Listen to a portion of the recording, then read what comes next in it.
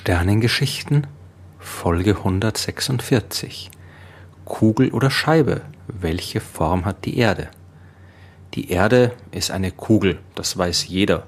Nur im Mittelalter waren alle so dumm und haben gedacht, sie wäre eine flache Scheibe und erst Christopher Columbus hat mit seiner Fahrt nach Amerika bewiesen, dass sie doch eine Kugel ist.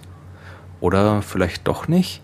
Natürlich ist die Erde eine Kugel, aber zumindest die Sache mit dem dummen Mittelalter und Christopher Columbus, die ist ein bisschen anders, als es sich viele Menschen vorstellen. Man muss nämlich schon ziemlich weit in der Vergangenheit zurückgehen, bis man in eine Zeit gelangt, in der die Menschen tatsächlich der Meinung gewesen sind, dass wir auf einer flachen Scheibe leben würden. In der vorgeschichtlichen Zeit, da war die Vorstellung einer flachen Erde sicherlich weit verbreitet die erschien ja auch logisch. Wenn man die Umgebung betrachtet und von Dingen wie Bergen oder Tälern absieht, dann sieht die Erde ja auch flach aus. Am Himmel kann man Sonne und Mond sehen, die ebenfalls wie flache Scheiben aussehen. Und wenn man keine umfassenden wissenschaftlichen Betrachtungen anstellt, dann ist die Folgerung, dass die Erde selbst tatsächlich auch flach ist, nur logisch. Auch in den antiken Zivilisationen von Ägypten, China, Mesopotamien und so weiter ist die Erde als flach beschrieben worden. Man hatte sich als eine Scheibe vorgestellt, die auf einem großen Ozean schwimmt, der sie auf allen Seiten umgibt, je nachdem, manchmal war in der Mitte noch ein großer Berg oder bei den Germanen ein großer Baum. Es hat von Kultur zu Kultur variiert. Vor knapp 3000 Jahren hat der griechische Dichter Homer zum Beispiel so eine Beschreibung in Form des Schilds des Achilles in sein Ilias-Epos eingebaut. Später aber, als sich in Griechenland die ersten Formen einer wissenschaftlichen Betrachtung der Welt entwickelt haben, da hat sich dann aber auch die Vorstellung von der Form der Erde geändert. Der berühmte Aristoteles hat in seiner Schrift über den Himmel vor knapp 2400 Jahren zum Beispiel mehrere Gründe angegeben, warum die Erde kugelförmig sein muss. Als seefahrende Nation hat man in Griechenland natürlich gewusst, dass bei Schiffen, die sich von der Küste entfernen, zuerst der Rumpf hinter dem Horizont verschwindet und dann erst die Segel und der Mast. Wenn die Erde flach wäre, dann sollte das eigentlich nicht passieren. Wenn die Erde aber eine Kugel ist, dann ist dieses Verhalten leicht verständlich. In der griechischen Antike hat man auch Kontakt mit äh, verschiedensten Leuten und Gelehrten in anderen Ländern gehabt und hat so verschiedene Beobachtungen vergleichen können. Und Aristoteles hat festgestellt, dass Sternbilder unterschiedlich hoch am Horizont stehen, je nachdem, ob man sich weiter nördlich oder südlich auf der Erde befindet. Und auch das macht nur Sinn, wenn die Erde kugelförmig ist.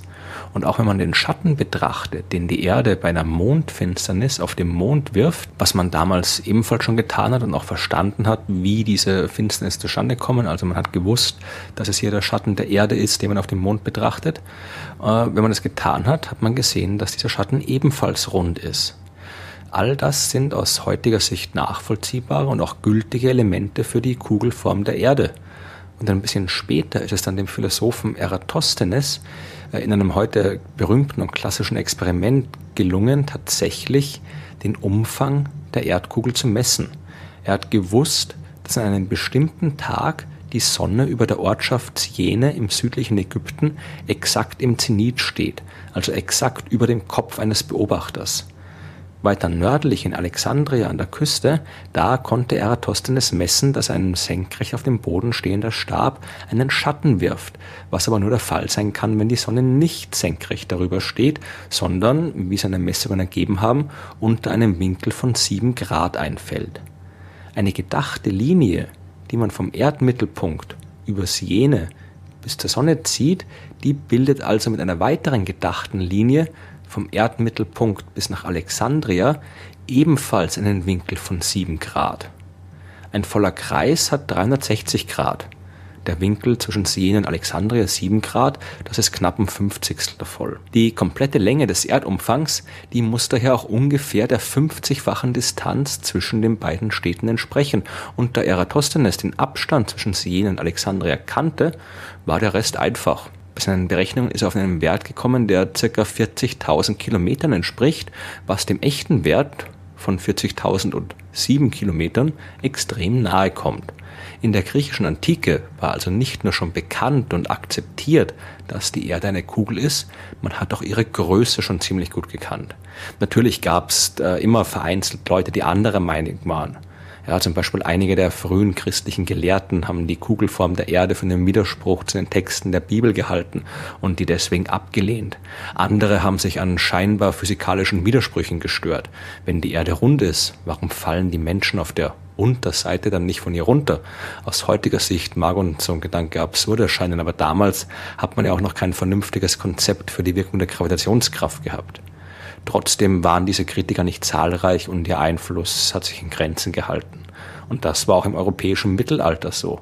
Entgegen der weit verbreiteten Vorstellung war auch damals allen halbwegs gebildeten Leuten bewusst, dass die Erde eine Kugel ist an eine flache Erde hat niemand gedacht, auch nicht Christopher Columbus.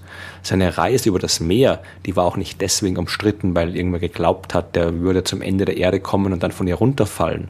Man war sich vor allem uneins darüber, wie groß die Erde ist und ob die Bedingungen auf den noch unbekannten Teilen nicht völlig lebensfeindlich wären. Kolumbus, der wollte ja auch nicht nach Amerika, der wollte nach Asien.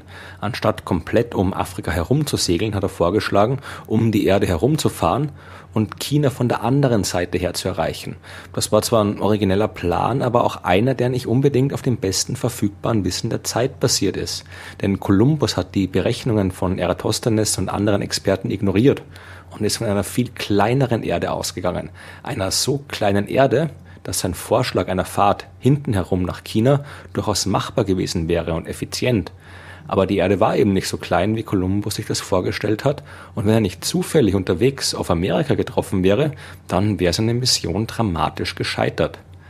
Das Bild der Erde als Kugel, das war also schon damals eines mit einer langen Tradition und es hat sich erst dann wieder geändert, als dann mit Isaac Newton und seiner mathematischen Beschreibung der Gravitationskraft die moderne Wissenschaft im 17. Jahrhundert begonnen hat.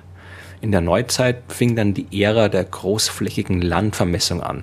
Man hat immer genauere Landkarten gezeichnet und die Wissenschaft der Geodäsie, also die Beschreibung der Oberfläche und der Form der Erde, hat angefangen sich ernsthaft zu entwickeln. Im 17. und 18. Jahrhundert haben verschiedene Wissenschaftler den Erdradius immer genauer vermessen und haben dabei festgestellt, dass unser Planet keine exakte Kugel ist. Die Strecke vom Erdmittelpunkt zum Äquator, die ist nicht genauso lang wie die Strecke vom Mittelpunkt zu einem der beiden Pole. Die Erde ist nicht kugelförmig, sondern ein sogenanntes Ellipsoid. Und das hatte schon Isaac Newton und mit ihm noch ein paar andere Wissenschaftler vorhergesagt. Denn die Erde rotiert um ihre Achse und die wirkenden Fliehkräfte äh, sollten sie daher ein bisschen abgeplattet haben. Die ist am Äquator quasi ein bisschen dicker. Aber um das zu erkennen, da muss man schon wirklich sehr genau messen. Äh, wenn man das heute macht, dann sieht man, dass sich der Radius gemessen an den Polen nur um 21 Kilometer von dem Radius unterscheidet, den man messen kann, wenn man am Äquator die entsprechenden Messungen durchführt. Ja, also vom Mittelpunkt zum Pol ist es also ein paar Kilometer kürzer als vom Erdmittelpunkt zum Äquator. Aber bei einem mittleren Radius von 6371 Kilometern fällt diese Abweichung von ein paar Kilometern kaum auf. Heute weiß man, dass die Erde weder eine Kugel noch eine Ellipsoides. Ihre wahre Form lässt sich nicht durch einen simplen geometrischen Körper beschreiben. Unser Planet hat jede Menge Dellen und Ausbuchtungen, die daher rühren, dass die Masse der Erde nicht gleichmäßig verteilt ist. An manchen Stellen existieren im Inneren des Planeten Konzentrationen von Materie, anderswo ist das Ganze ein bisschen weniger dicht und das verändert die Stärke der Anziehungskraft, die man an einem bestimmten Ort der Oberfläche spüren kann. Dort, wo diese Kraft stärker ist, gibt es eine Delle in der Form der Erde. Wo sie schwächer ist, findet man eine Ausbuchtung. Mittlerweile kann man sowas ziemlich gut mit Satelliten aus dem Weltall messen, denn auch die künstlichen Himmelskörper werden bei ihrer Bewegung um den Planeten durch seine unregelmäßige Form beeinflusst. Der Satellit drückt ein bisschen näher an die Erde heran, wenn er einen Bereich mit erhöhter Schwerkraft überfliegt und entfernt sich, wenn die Anziehungskraft schwächer ist. Das sind auch nur ganz kleine Variationen, aber den Abstand zum Satelliten kann man eben so genau messen und so erhält man dann entsprechende Karten, die all die kleinen Unregelmäßigkeiten in der Erdform zeigen. Die Form, die man dabei am Ende erhält, die wird Geoid genannt. Das heißt so viel wie erdförmig. Der aktuelle Stand der Wissenschaft lautet also, die Erde ist erdförmig.